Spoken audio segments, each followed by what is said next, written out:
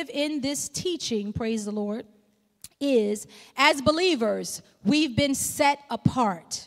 This series is designed to encourage the body of Christ to hold fast to their beliefs and stand firm on the word of God. Say, I am to hold fast to my beliefs and stand firm on God's word. Amen. We are living in some very unprecedented times, some very peculiar times. You know, the world is calling right wrong and wrong right. And we see it all the time. Amen. It's on every television program and every movie we go to, even in the kids' cartoons, there is something that is contrary to the Word of God. Amen. You know, there used to be a time when I grew up, there used to be a very clear distinction, a very clear separation between the church and the world. Did it?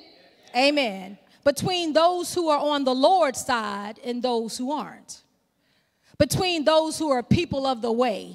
Anybody know about people of the way? I'm dating myself. The young people like, what is she talking about? We used to be called people of the way. Amen. Those who were eh, against those who were people of the way and those who were doing their own thing. You know, again, there was this clear distinction between believers and unbelievers. You know, I don't know about you, but but um, you know it has nothing to do with the outward adornment. You look at a person i can't say to them you're a believer or you're a non-believer. It has to do with how you live your life how you conduct yourself. Amen? You know but i'm noticing more and more that the lines of distinction are being erased. You know, more and more carnality is creeping not only into our society, but also into the church. Somebody say, Amen. But we, as believers who are standing on the word of God, like we talked about earlier, we cannot allow that to continue. We must hold fast to the profession of our faith. Amen? All right, let's look at First Peter. We're going to go into the word this morning. Amen. It's the word that will change your life. First Peter chapter 2 verse 9 through 12 out of the amplified says, but you are a chosen race, a royal priesthood, a consecrated nation, a special people for God's own possession, so that you may proclaim the excellencies. Listen to that. You are chosen set aside as a royal priesthood, as a consecrated nation, as a special people for his possession. Why? So that you may proclaim the excellencies, the wonderful deeds and virtues and perfections of him who called you out of darkness into his marvelous light. You know, I often hear people talking about what's my purpose. I just read it to you right here in First Peter chapter 2. You've been called and set apart and chosen so that you can proclaim the excellencies of the one who called you. Amen. Verse 10 says, Once you were not a people at all, but now you are God's people. Once you had not received mercy, but now you received mercy. Thank you for your mercy, God. Verse 11 says, Beloved, I urge you as aliens and strangers in this world to abstain from the sensual urges, those dishonorable desires that wage war against your soul or against the soul. Verse 12 says, Keep your behavior excellent among the unsaved Gentiles. Conduct yourself honorably with graciousness and integrity, so that for whatever reason they may slander you as evildoers, and they will, yet by observing your good deeds, they may instead come to glorify God in the day of visitation when he looks upon them with mercy. What I love about this passage of scripture is we've got purpose defined in there. But we also have that last verse that tells us when we are sharing the good news of the gospel with people, we're not drawing them to ourselves, we're drawing them to Him. And sometimes we kind of get that a little twisted, right? Because people will come to us, as Pastor shared, because they see the glory. We've already established it's not because we're that cute or that fine, amen. It's the glory of God that they see. And we must make sure at all times that we don't mistake what God has given us for us. Let me say that again. That we don't mistake what God has given us for us because it's all about Him. Amen. Shout, they not like us. Again, you've been called out, you've been set apart. You know, you weren't created for the culture, but you were created for kingdom. But that's where the wrestle comes in sometime. You know, sometimes we think, you know, because scripture tells us, and I'm going to read it a little later, that we're of this world, but we're not in this world. But sometimes we believe that we're going to be here for a lifetime. But that's not true. We are sojourners in this thing. We are passing through. We're not going to stay here forever. And so we've got to understand that we were never created for the culture, we were only created for kingdom. You know, as I was preparing this message, the God gave me this little, I just had this little picture of this little toy. You know, I bought the, this toy for the kids, and I also bought one for my little great nieces. And, and for all of my parents out there, you'll be able to identify with this. It's the little toy that has all the various shapes. Amen. So it's got the little perimeters, and then it has your, the goal is to take those shapes and put them back into the corresponding little piece. Well, when I was thinking about this message, I was thinking about that's what's happening. It was a little illustration of what's happening with believers. You know, we're trying to when we're trying to match ourselves in back mesh ourselves sometimes into the culture when we should be doing it with kingdom those pieces don't necessarily fit I, I, watch my little nieces struggle. They'll pick up a star and they'll try to put it in the little square. And, and over and over again, they, they're hitting it and they're meshing it and they're getting frustrated because they can't get that star into the square. Where the reality is, the star was not created to go into the square. The star piece can and shape can only go into the shape that it was fitted for. That's the wrestle with believers when we're trying to mesh kingdom with culture. And that's why you're frustrated. Because as a kingdom citizen, you were never created and designed to fit into the culture. And, and, no matter how hard you try, like my little great nieces, it will never fit. I, I say this to you this morning, church. You're not going to fit. No, no matter how hard you try to force that relationship to work, it's not going to work. And no matter how you try to, look, force that career to come to pass, it's not going to work.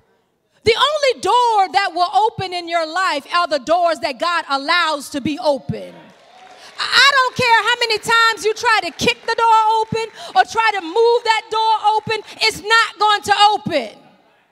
And the sooner that you embrace that reality that you are a kingdom citizen, trust me, life will go a whole lot smoother for you.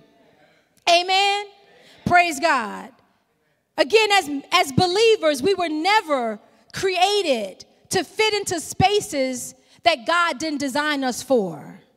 You've got to remember that the world hates you. Now, now I know hate is a strong word. I don't, I don't, when I was raising my kids, I never allowed them to use two words. One was hate and the other was shut up. To, my kids thought shut up was a bad word. I think it, it is a curse word to us, amen, to the Johnson household.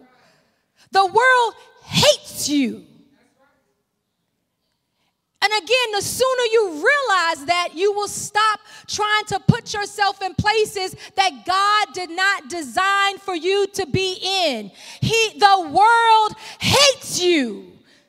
I don't, I don't think y'all hear me this morning. The world hates you. When, when people are always celebrating you, talk about the world. When, when they always celebrating you, you better check your salvation. You better check whose side you're on because the world hates you.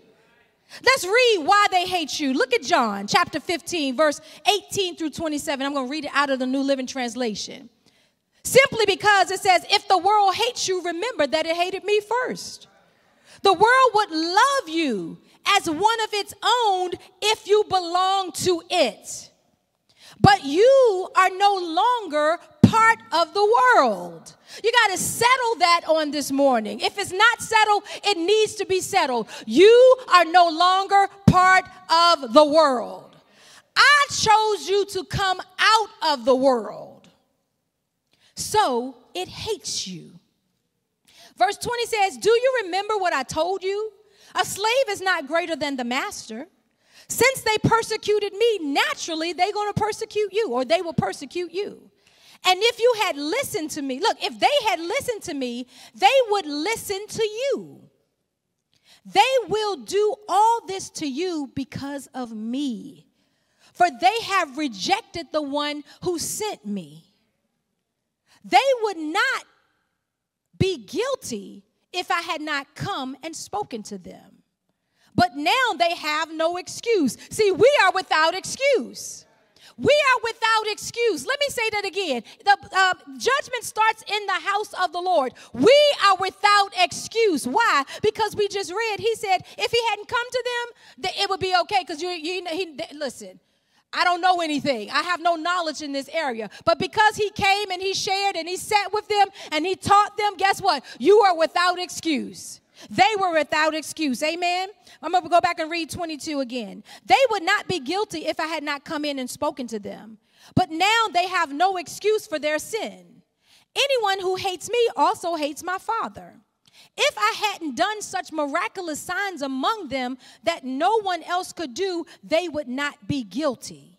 But as it is, they have seen everything I did, yet they still hate me and my Father. This fulfills what was written in their scriptures. They hated me without cause.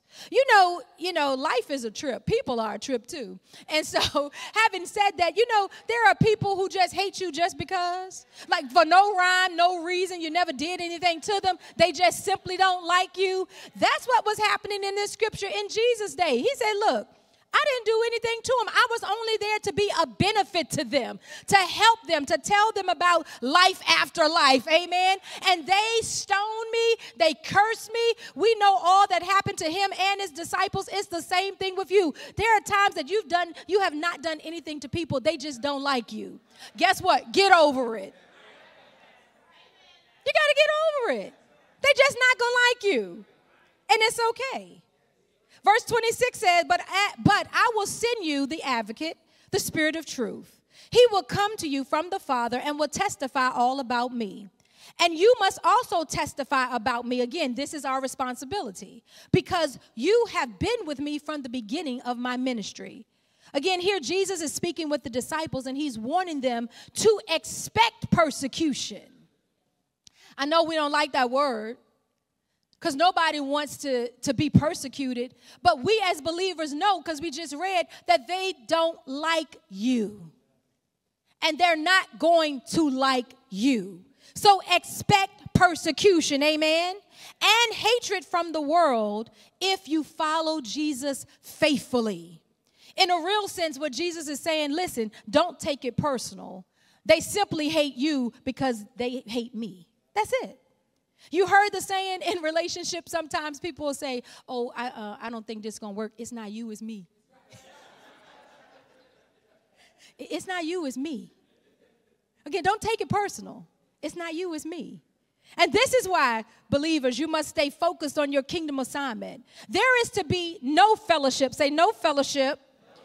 Come on, say, no fellowship between the kingdom of light and the kingdom of darkness. There is to be no fellowship. We are to be completely set apart from the world. There should be a clear line of demarcation. Let me tell you what demarcation is it's a boundary. Do you realize if you were to look at a map, you'll see boundary lines? And I'm telling you, you can't just leave Virginia and you can and drive into to Kentucky and expect to do things in Kentucky like you were doing in Virginia. Kentucky has its own set of rules. Virginia has its own set of rules. The kingdom has its own set of rules. And so you can't expect to do what you were doing in the culture and then cross over into kingdom and think you're able to do the same thing. No, there is a clear line, or there should be a clear line of demarcation. Amen? Let's look at 1 John 2 15 through 17. I would just want to put some reminders out there, believer, for you this morning.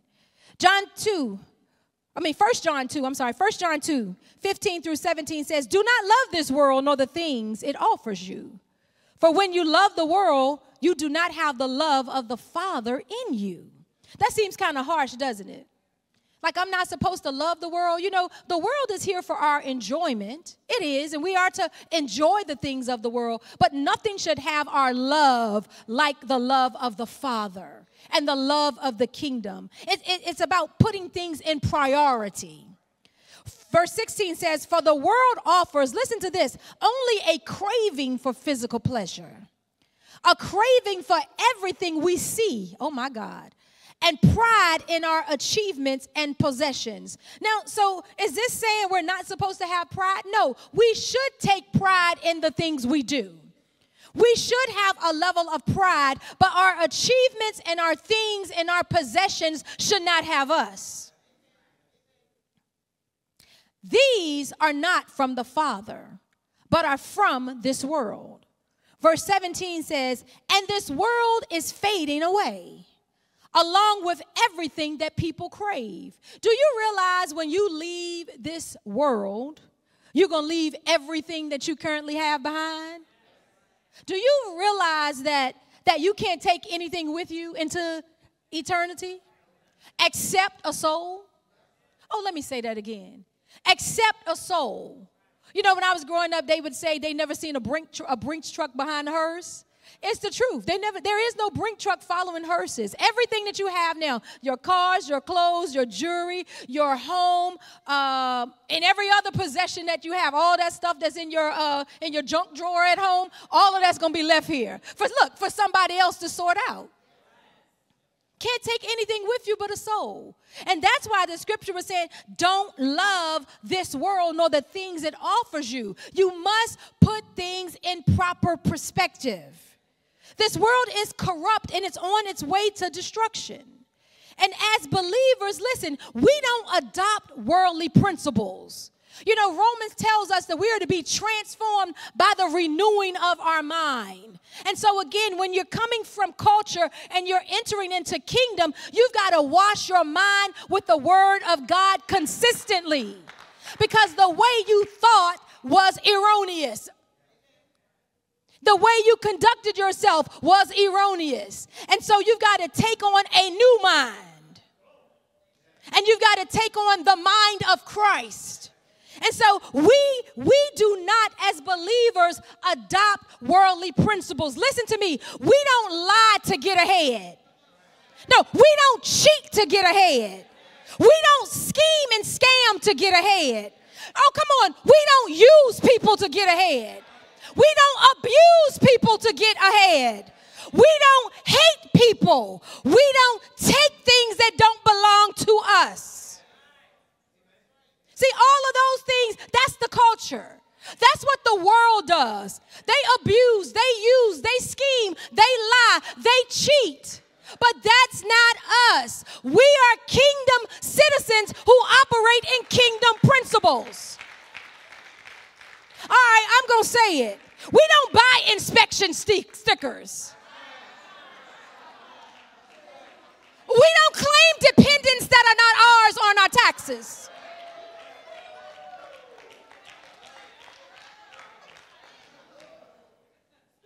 You would think you wouldn't have to say that, but I believe the Spirit of the Lord is saying, say that. They're just things we don't do or things we shouldn't do. Not as kingdom citizens, not as people of the way, not as people who walk in the light. We don't borrow the world's strategies and the world's ideas. Instead, we live by kingdom principles. We love in spite of. Oh, let me say that. We love in spite of. We forgive I'm telling you, when we don't want to forgive, when we know you talk about us, when we know, oh, never mind, let me keep going. we pray, we cover, we protect, and we give. Let me tell you what we do again. We love, we forgive, we pray, we cover, we protect, and we give. See, we have a different mode of operation. We have a different standard that we live by. And the sooner that you come into this realization, the sooner you will do what God has been calling you to do instead of trying to fit into this mold that the world has designed for you.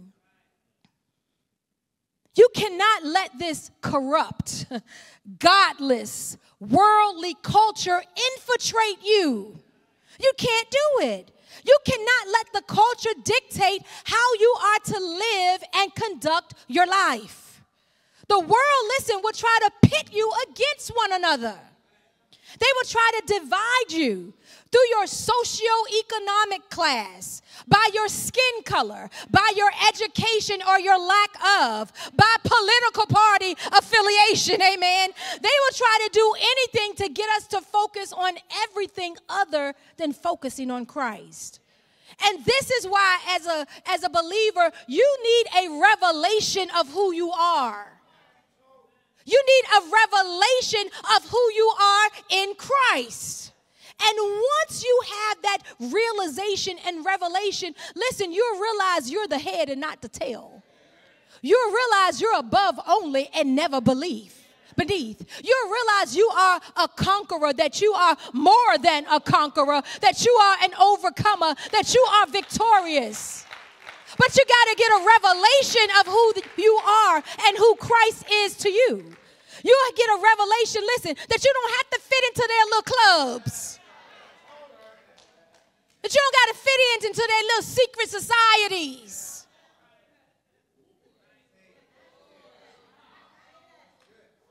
Looking to find purpose and meaning in everything outside of Christ. Selah.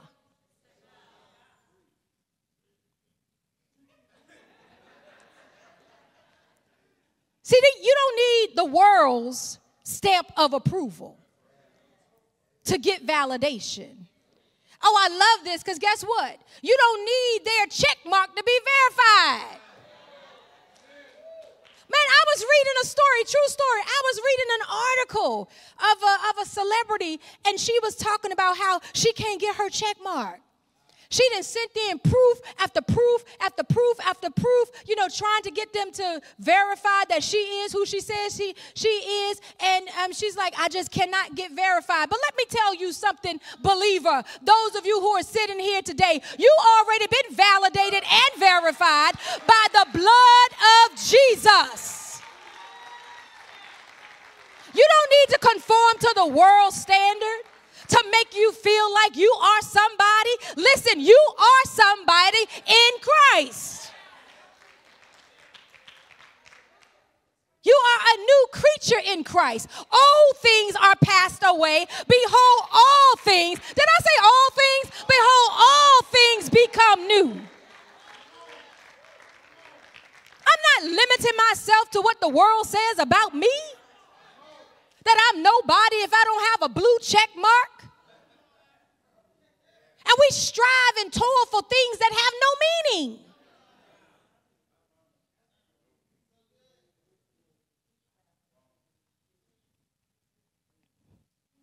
Remember, you are in this world, but not of this world. The world is trying to get you, listen, to lean into it instead of leaning into Christ. The, the world, y'all, y'all see it?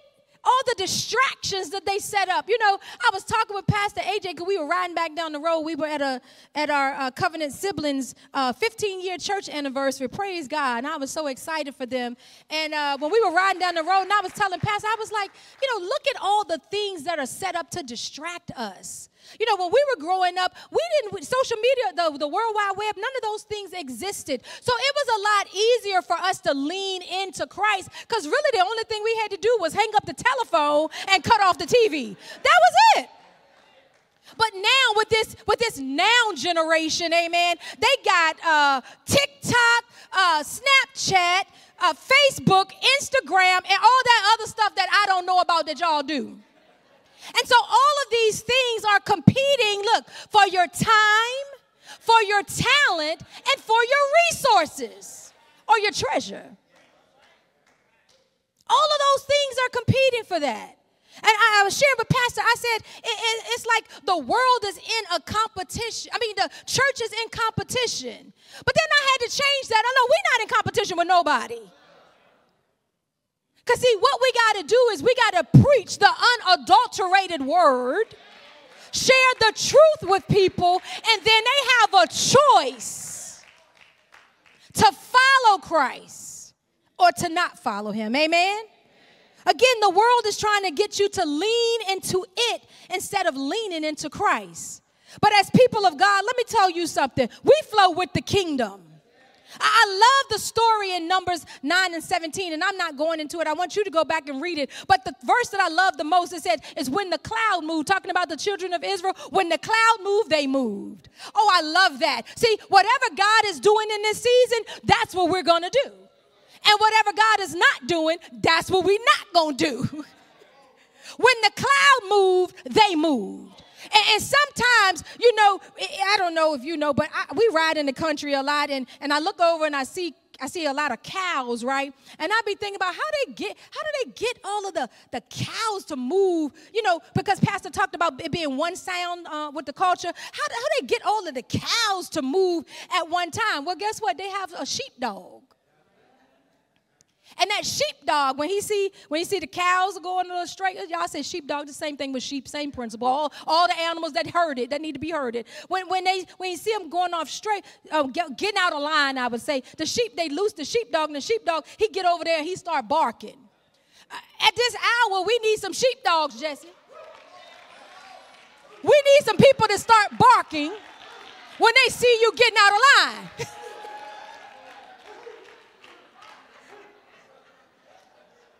I'm talking to believers. I ain't talking to unbelievers. I'm talking about when the believers are getting out of line. When the believers are leaning in more to the culture than the kingdom, we need some people to start barking. Amen. Look, I'm telling you, uh, we got to tune our ear into the kingdom. Again, when I was growing up, they had analog radio. I'm dating myself today.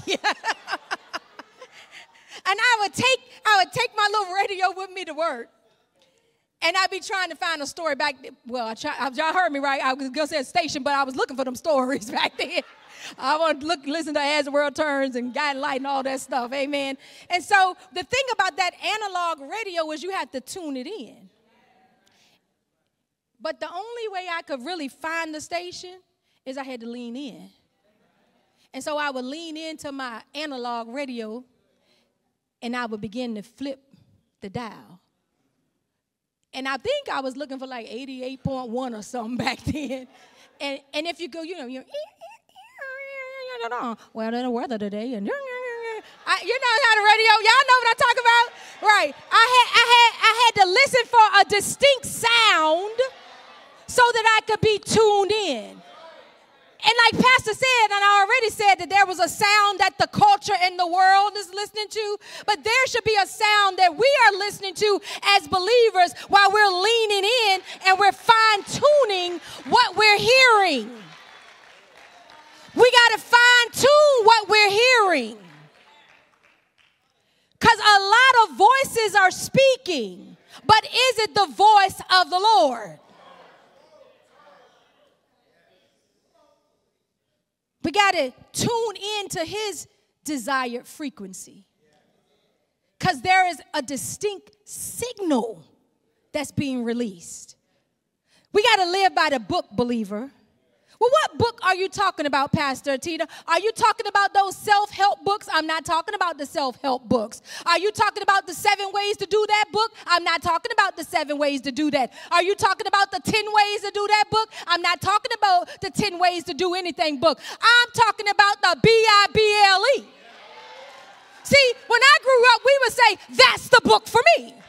I stand alone on the word of God, the B I B L E. And see, again, with all of the voices out here, with all that competing for our attention, sometimes we're spending a little bit more time on other books besides the B I B L E. We offer you reading plans here. Putting a plug, a little shout out. I heard when we say things from, from here, y'all respond. So today I want you to respond. It's the month of August. So we got August reading plans out there for you. After service today, go pick you up one. Because we stand alone on the word of God. Amen.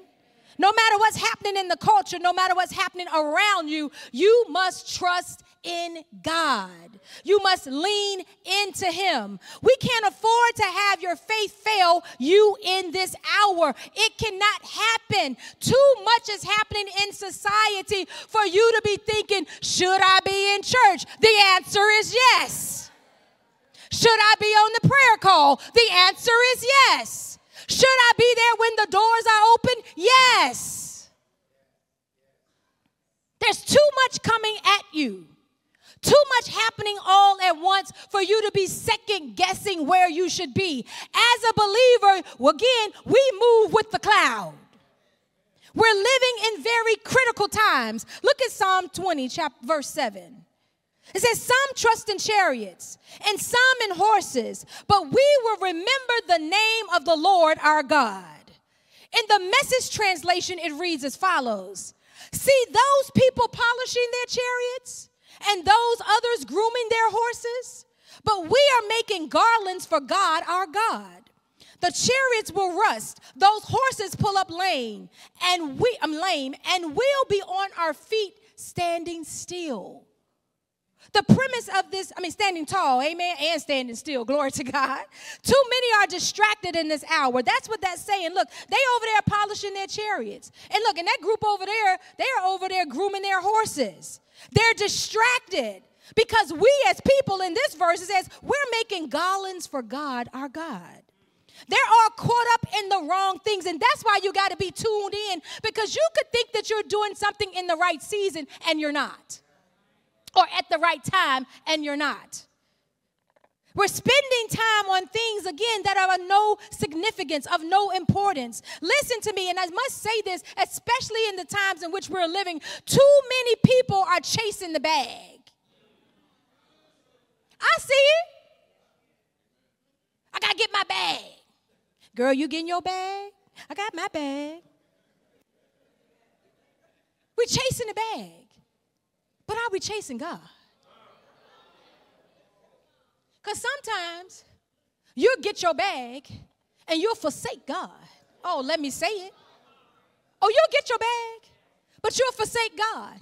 Not understanding that the scriptures say it is He that gives you the ability to establish wealth. See, when you first came to church, it was, oh God, Oh God, I need you, I need you, I need you, I need you, I need you, oh God. Almost like, oh, never mind, I can't chase that rabbit. Almost, I'm, gonna say, almost like when I, I was at a concert one time and this guy came up to me and you know how guys do, and uh, and he said, "Oh, where you been all my life?" you know what I'm saying? That's what I was saying about that. That's how we are. We come and we we getting you know in the beginning stages of our love relationship with the Lord. It's like, "Oh, where you been all my life?" But then when we when we uh, get our bag, we like peace. Help us, Holy Ghost. You were broken, destitute, need in need of deliverance. Everything was jacked up. And so you would spend your time in the presence of God no matter how long that was. But now that you got your bag and got a little something, something, few dollars in your bank account, driving the car that you wanted, living in the house that you wanted, now you ain't got time. How much longer that service gonna be? Thought he said he was closing. Now he on the third close. Oh, now he on the fourth close. But how quickly we forget that had it not been for the Lord who was on our side, where would we be? See right there? Right there, just that part right there. The truth is, everybody should have been standing. I don't ever want to get so comfortable in my relationship with the Lord I don't remember where He bought me from. Woe is me. I'm a man undone. And that's what's happening in this church age. We're complacent. We acting like we've been where we at. God, I know this ain't proper English. All our lives. When you know you were a mess. You were, like the scripture would say, a wretch undone. And so we come up in here sashaying anytime we feel like it. But there was a time when I was so desperate for the presence of God that the doors of the church could not open fast enough.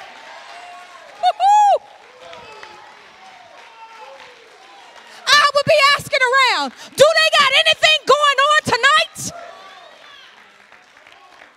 Now we call the prayer meeting and nobody show up. Why is that?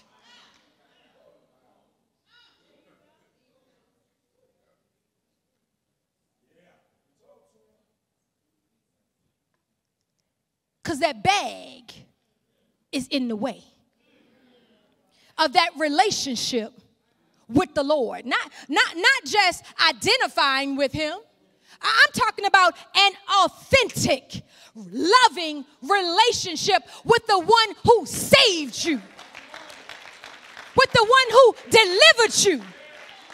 Oh my God, with the one who gives you life after life. I said it on last week, and I believe it's so. If there is a clarion call to the church in this hour. And that's why you got to tune your ear in because if not, you're going to miss the sound. Luke 12 and 20 says this. Says, but God said to him, because I'm talking about in this story the rich fool. Now, Pastor don't like when I use the word fool, but the Bible said it. The rich fool. He had stored up all this stuff and now he felt like he could take his rest. He like, I got my bag. So I'm just going to sit back. I'm going to sit back. That's right, don't do it. I'm going to sit back and enjoy all my spoils. But look what the Lord told him.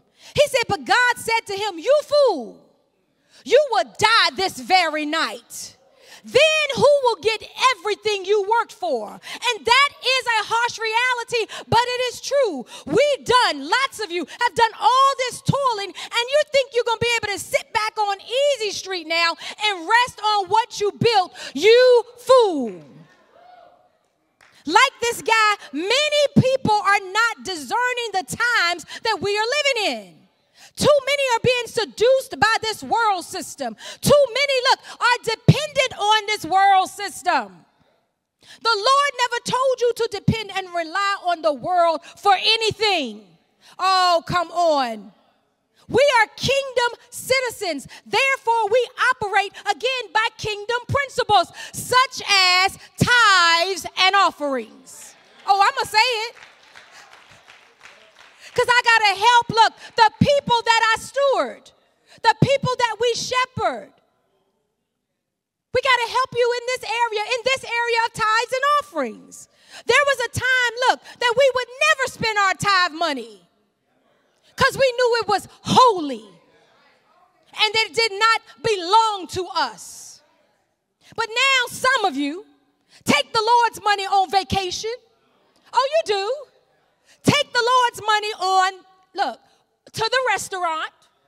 Take the Lord's money to the mall. Look, put the Lord's money on your back and don't think anything of it. What have we become? My God, what have we become? What have we become? You know, as I was thinking about this, oh, I just had this thought, and I was like, oh my God, oh my God, oh my God. Come here, Mo, I'm gonna use you on this demonstration. I was like, you know, somebody need to create a wand. You know, like when you go to the airport, you got to stand in that scanner, and then sometimes when you go to court, praise God, when you go to court, they scan you. So step on this on this one step so that way I don't have to come down. You good? Somebody need to create a wand for the body of Christ. Oh, you know, you know what it would say? Lord's money. Lord's money. Ding, ding, ding. Lord, Lord's money. Lord's money. It seems funny, but it's the truth. A lot of times the Lord's money is everywhere but in the house of the Lord. You may be seated. I can use my daughter in law because I know she's a tither. So she, what she got on, that was part of the 90%. now, y'all know I'm being facetious, but there should be some type of conviction. Oh, not condemnation, conviction. There should be some conviction as it pertains to the principles of the kingdom, look, that we are not operating in. And then we're going to get some wisdom on how to operate in them so we can be the benefactor of these things. You know, it, it's just amazing to me. As a pastor, that sometimes people will have the conviction and they still be disobedient. Conviction of the Lord all on them, and they still disobedient. That's a dangerous place to be in. If you cannot hear the conviction of the Holy Spirit, we got a problem. Danger, danger, flashing danger, danger, danger, danger up ahead, and you still going. You still riding. Don't even know there's a drop off point ahead. Danger. You know, when Pastor AJ and I were coming up, my God, okay, I'm just being all transparent for y'all today. When we were coming up in the, in, in the things of God, and, and, you know, we would honor the Lord by giving our tithe, right? But there were times that, that we wanted to, to um, sow a seed and, you know, we were looking at our bills. We had back then, praise God, Lord Jesus. We had a, a lot more month than money. Amen. I understand if you're there, we've been there, we get it. Trust me. We didn't always, we are not always at this point that we are right now. But we operated in the principles of God, even to the point of sowing seed, because our motto was if it didn't meet a need, if it wasn't gonna meet a need, guess what? It was gonna be seed. We're gonna plant it because we look, we're looking for a harvest. That's just the way we grew up. And so we gave our tithes in our offering, amen. And back then, we may have been on struggle street. We may have been on barely getting along boulevard, but one thing we resolved in our own life, and I'm talking about in my own life, I resolved that I was not going to disobey the word of God. I don't care what I got to do. I'm not, look, I won't pay VEPCO, but I'm going to pay, I'm going to honor the Lord. Now you say, but Pastor Atina, that's kind of drastic. I mean, okay. My conviction to the things of God will not allow me to be disobedient to God. And so I just gonna do what the Lord say. Look, and then I'm gonna believe God that the light only I'm gonna be able to honor Him, but my light's gonna still be on. I don't know about you. I just feel like I just need to be a little bit more transparent. I mean, there are times that we didn't have hardly anything. We were poor. We, we didn't have an OR. We were just poor. we poor. P-O. And so there were times when we were barely getting along, like I said. But we had enough faith to know that if we keep trusting and keep believing that God was going to give us the wisdom to get out of that situation. Now, it took some time because what it took was consistency. Sometimes people just don't do things consistent long enough. Just, just quit at the first. Well, I did it and God ain't do it. God is not a genie. He is not a musician. He is a principle driven God. And you got to operate in God's principles long enough to see the manifestation of that thing. We knew we were not going to disobey God's word, so we disciplined ourselves to operate in God's principles. The tithe came off the top. Pastor Atina, why are you still on the tithe? Because that's the area most believers are struggling in. I'm just being honest. Being honest. You got a purpose to honor him, look, above all else. Above all else. And because we operated in those principles, guess what? We're not po no more. We're not broke no more. We're not struggling no more. Can I tell y'all something? I just, I didn't even realize this until the other day. I did not realize this until the other day. I was like, my God, I just thank you for the places that you have brought me to and exposed me to. I did not realize, and literally until the other day, Pastor AJ and I was talking, and we realized we are debt free except for our house. I, it, listen, I didn't say that. I didn't say that for you to give me any type of applause. I said that so you can honor the Lord. Because what he does for one, he would do for others. It wasn't an overnight process. I wish it had been. it was a principle driven process. Because we operating by principles. Look at Deuteronomy 8 13 through 19. My God, I got to get up out of this. When your flock, when you when your flocks and herds have become very large, and your silver and gold have multiplied along with everything else, be careful.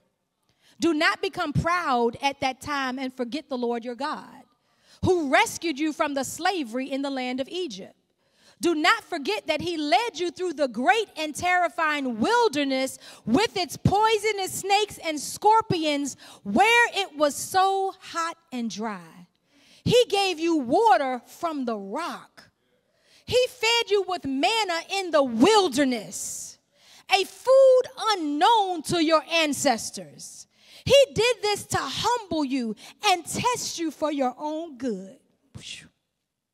He did all this so you would never say to yourself, I have achieved this wealth with my own strength and energy. Remember the Lord your God he is the one who gives you power to be successful. In order to fulfill the covenant, he confirmed to your ancestors with an oath. 19 says, Look, but I assure you of this, this is a warning. If you ever forget the Lord your God and follow other gods, worshiping and bowing down to them, you will certainly be destroyed. This world and a lot of people in it are fickle. And so they shift with the wind. But that's not us. We are to hold fast to the promises of God. Again, Pastor AJ talked about that sound, that sound, that sound that the world is moving to, but we're not like people of the world. We will not bow to the culture. We're not going to be those who one minute we're walking with God and the next minute we're not. No, that's fickle. We can't afford again to take those chances. There's a possibility that you may not make it back. We've been here 13 years, and there's some people who, during that 13 year transition, decided they didn't want to go after the things of God no more. And I look out, and guess what? I don't see them here. Still, there's a chance if you leave, you may not make it back. So if you have made it into the ark, guess what? You need to stay in the ark. That's the place of safety. Don't get caught up. You can't afford to get caught up in the hype of what's happening in society. You can't afford to become anxious about what's there, what is going to happen, what's not going to happen, who going to be in the White House, who not going to be in the White House. Look, as long as God is still on the throne, we're going to be all right. We're not like people who lose hope. Why? Because we serve the hope giver. Come on. There's an urgency for you to return to your first love. That's what I've been sensing through this entire series. There's an urgency for you to return to your first love. And then you must share the good news of the gospel with as many people as you can. Listen, if it's a dog, I'm going to share it with him. My kids tease me all the time, Mo especially when she came into our family a few years ago. I said, King is saved. My dog named King. She said, Mama J, yeah, King is saved. As for me and my house, we're going to serve the Lord. King is saved. Again, you can only take a soul with you. And so we're going to share. That's what the we outside is about. We still outside. Just because the series ended doesn't mean it's over. No, we still got a frank mandate. We're still going after our friends, our relatives, our associates, our neighbors, our co-workers, everybody. Amen. We got to warn the world of impending judgment. A lot of people just just too relaxed in their salvation. They're just, they're just living living too loose. Listen to me clearly. This good for my new partners. this so good. Some of us been saved too long to be living shady. See, we say we don't have any undercover lovers here at Kingdom Life. We got people who bold, who on fire. And that was the warning again to the church of Laodicea that I was talking about last week. They had grown lukewarm and therefore they were useless. Their selfish focus on just wealth and culture kept them from living on purpose in this life. Jesus is looking for us to get back on our assignment, to get back to the mission. And the mission is Come on, somebody. That's the password. The mission is souls and nothing else. Souls. Young people, souls. Older people, souls. The mission is souls. And it is our responsibility to let them know it's time to repent. Repentance, listen, it's not just words, it's action. Oh, come on. It is action you say you're not going to do something anymore or any longer, guess what? I'm looking for the corresponding action. It means to turn away. Matthew 3 and 2. In those days, John the Baptist appeared, preaching in the wilderness of Judea along the western side of the Dead Sea and saying, Repent, change your inner self, your old way of thinking, regret past sins, live your life in a way that proves repentance. Seek God's purpose for your life, for the kingdom of heaven is at hand. As believers, we represent Jesus to the world. How you representing him? We should be the modern day John the Baptist. We should be the ones crying out, Repent, for the kingdom of God is at hand. Amen. The enemy is trying to use the culture to shut your mouth. That's why I said earlier, come on, where I didn't even use this word energy, but where's the energy for the things of God? We put energy into a lot of things. Where is the energy for the things of God? We can't allow the culture or the enemy to shut our mouths. We are to cry loud and spare not. Proverbs 28 and 1 says, The wicked flee when no one pursues. But the righteous, listen, are as bold as a lion. Where is the roar in the earth from the believers?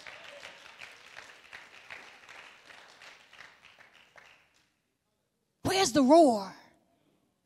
My, my brother-in-law over here, he like cats.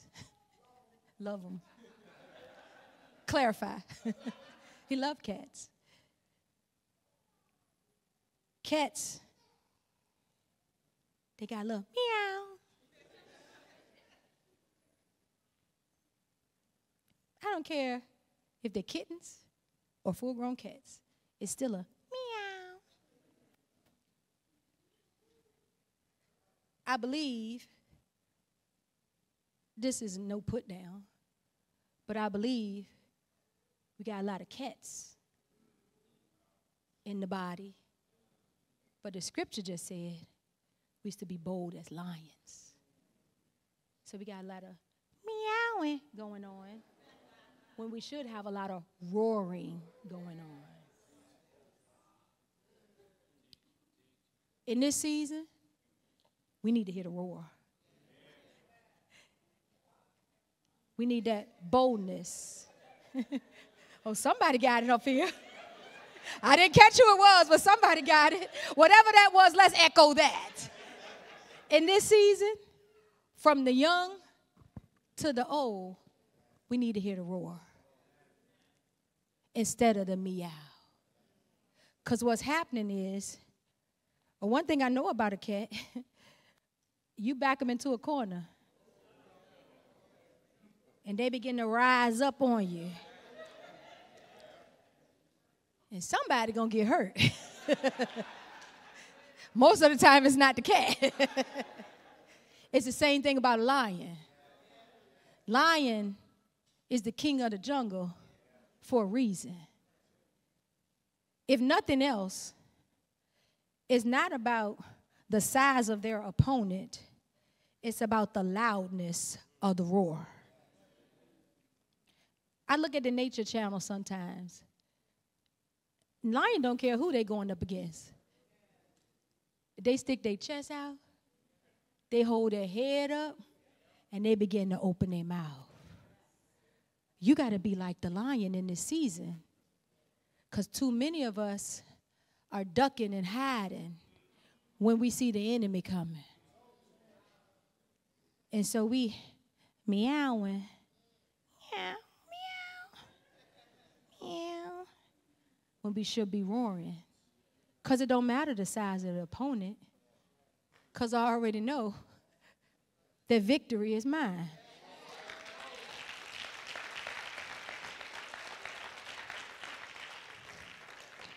One thing I like about looking at the nature channels, and I'm going to close, is they travel in packs. It don't matter what they're doing. And what the culture is trying to do with us is to get us to isolate when we should be traveling in a pack. It should be you see one, you see all. You know, some of us got that little motto with our friends. You come after her, then you come you go, you fight one, you gonna fight us all. That's how it should be up in here. When we see the head of the enemy rising, it shouldn't be a, you got to fight that by yourself, sister, or you got to fight that by your brother, sister. It should be the whole pack coming out to say, oh, okay, you thought, you thought, you thought, oh, you thought. I'm looking for my B-more crew to speak up. looking for my New York crew to speak up. Looking for that Florida crew back there to speak up. Oh, you thought you were dealing with one, but you're going to have to deal with the whole pack. Why? Because when you hear that roar, we ain't got to do nothing in the natural. It's the roar that will cause the enemy to flee. It's the roar. When I look at that stuff, the lion ain't did nothing. Lioness, because most of them doing the hunting. The lioness, I know. The lioness ain't did. She ain't doing too much. It's just the fact that they coming as a pack. They outnumber the enemy or whoever is trying to oppose them. And that's what we should be doing. Hear the roar in the earth coming from the believers. I'm going to close with this 1 John 2 9 18. How to amplify. Children, it's the last hour, the end of this age. And just as you heard that the Antichrist is coming, the one who will oppose Christ and attempt to replace him, even now many Antichrists, false teachers, have appeared, which confirms our belief that it is the last hour. They went out from us, seeming at first to be Christians but they were not really of us because they were not truly born again and spiritually transformed. See, that's the difference. For if they had been of us, they would have remained with us. But they went out teaching false doctrine so that it would be clearly shown that none of them are of us. Children, it's the last hour. Coming to the end of the age. And you've got to keep your eyes and your focus on Jesus. You got to remember why you made the commitment to Him. And then you've got to remember and be faithful to the commitment. You can't lose heart in this hour. You can't lose faith in this hour. There are going to be opposition. There are going to be changes. I mean, challenges. We read about it. They're going to hate you. Why? Because they hated him first. There's going to be persecution. They're going to speak all manner of ill and evil against you. But guess what? They're going to hear your roar. We're not going to be defeated in this hour. We're not going to lose hope in this hour. We're not going to let the enemy rob us of our joy. He's not going to rob us of our peace. We're not going to be anxious. We're not going to be fearful. We're not going to walk, walk around in doubt and in unbelief. We're not going to do any of that because that's what the world does and they're not like us.